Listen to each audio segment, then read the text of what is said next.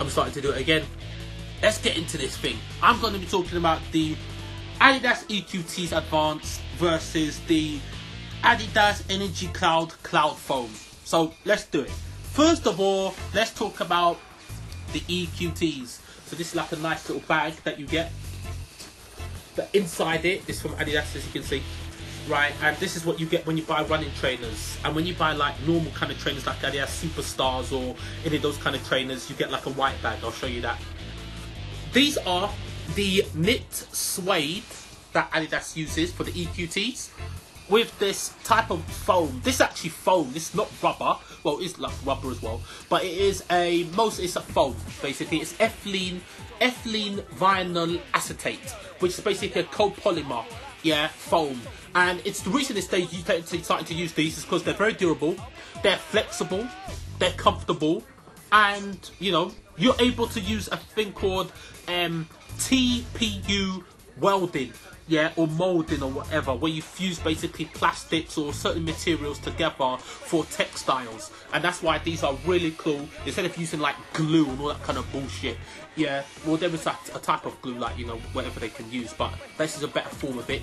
And my design basically is, as I said, the synthetic suede with the rubber sole here, and I changed it here. So you see, I put it as black as this bit here, and this bit I did black sole with red stripes. Yeah, and the reason I did that is because I wanted this trainer because this is an iconic 90s trainer, whereas the Adidas um, Superstars was an iconic 80s trainer. Yeah, you'll see the theme that I'm coming up with in a minute. Yeah, so Superstars 80s, these 90s, Re- reimagining of an 80s, 90s classic. Yeah, and um, these ones I wanted it to be very the contrast to be powerful. Yeah, that's why I see, look, white against the red. White against the red. Black against the red. White against the black. Black against the red. White against the red. So it's very contrasty, even here. Black laces against the red. I want it to be very contrasty, very powerful. Right, even look on the inside, you see here, it says Lionheart in there, because when you customize, these are one of a kind basically. That's what's so cool about the Adidas customization option is the fact that you can customize whatever you like. You can customize the trainers, the colors. You can pick some material, different materials in terms of the trainers and in terms of the clothing. It's really fucking awesome, man. I love it. Yeah, and on the inside, as you can see, I did this black, the lining. You can change the color of the lining, basically. And mine is a ten and a half. Yeah, um, ten and a half size. Yeah, the soles they look cool, but in terms of grip, I'm not too sure. I have to give. I feel. I feel like I want to give the grip a seven out of ten. No, a six out of ten. Basically, that's how I feel I want to because I've worn these trainers already, and they don't feel the most grippy. Like talk about the Adidas superstars, there is no better grip. That, well, actually there is, but those ones feel bloody hell like your foot is like sucked to the floor and stuck there. Right, they're so grippy and strong. And these just feel very light, but I think that's the style. The style is it's meant to not be grippy, so that your feet can just move in a certain way, unhindered, almost like you're running on bare feet.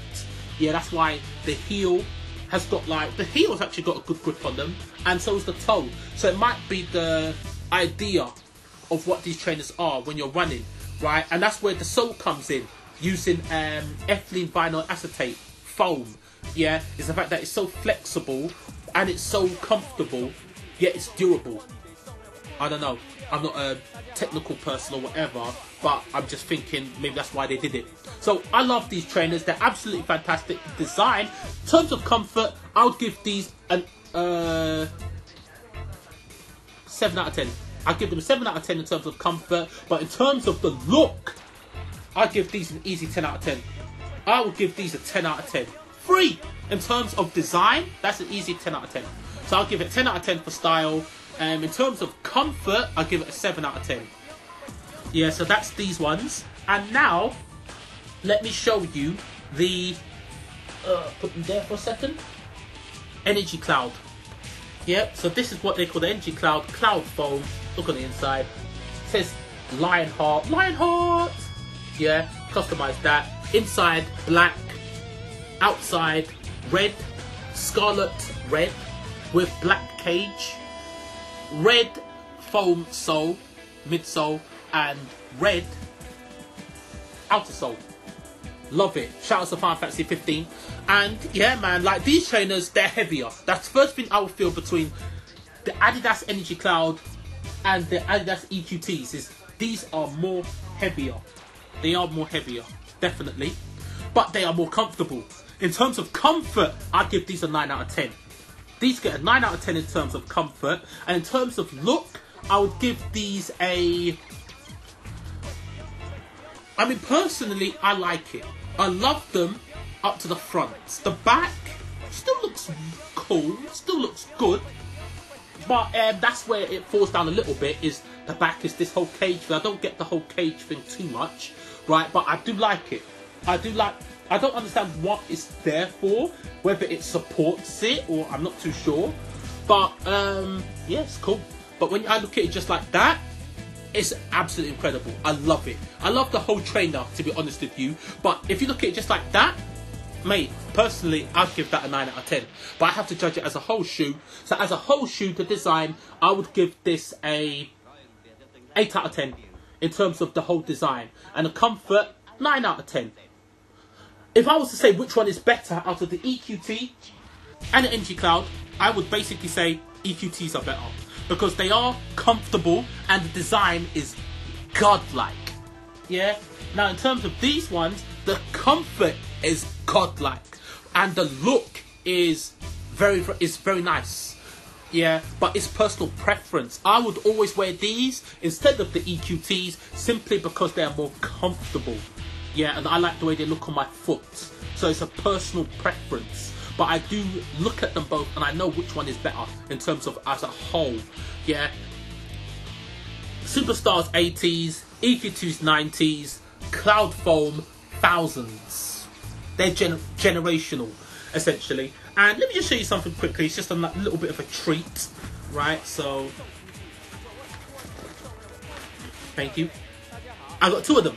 So I've got one in white, grey, fading into black, with the soles, the cloud foam, fade silver into black, white soles, white cage, white inner sole,